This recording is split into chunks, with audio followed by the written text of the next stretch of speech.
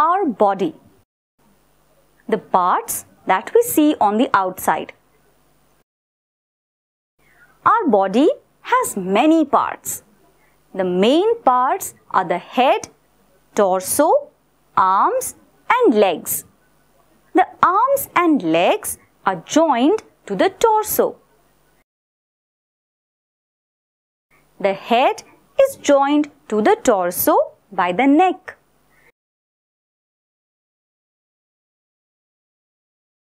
The arms are joined to the torso at the shoulder.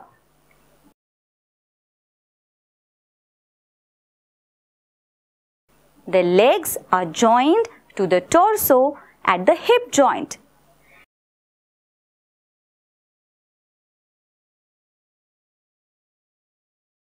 The chest, abdomen and back together make up the torso.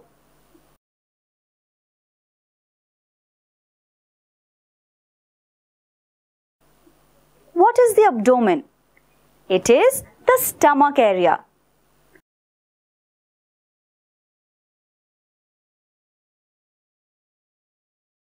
The arm has three parts. Upper arm, forearm and hand. The upper arm and forearm are joined at the elbow. The forearm and hand are joined at the wrist. The fingers are attached to the palm. Fingers and palm are part of the hand. The leg has three parts thigh, shin, and foot. Toes are part of the foot. The thigh and shin are joined at the knee. The shin and foot are joined at the ankle. The back of the shin is called the calf. Our body is covered with skin just like an apple is covered with a peel. Our skin helps us touch and feel things. Almost all parts of our body are covered with skin. Under our skin, we have muscles. Muscles are pink and soft. You can feel the muscles on your hands and legs. When you smile, you can see the muscles in your cheek moving. Muscles help us move our body. When we eat mutton, chicken or fish, we eat the muscles of those animals. Under the muscles, there are bones. Bones are hard. They support our body. Where two bones meet, we have a joint. We can move our body at these joints. There are bones in almost all parts of the body. Suppose you couldn't move your neck at all. How would you look at something to your right? How would you look at something that had fallen down? It is so easy to quickly see things because our neck can move in any way. Can you bend your arm anywhere? No. You can bend it at the shoulder, elbow and wrist. We can bend each finger in three places too. Of all the fingers, we can bend our thumb in so many more ways too.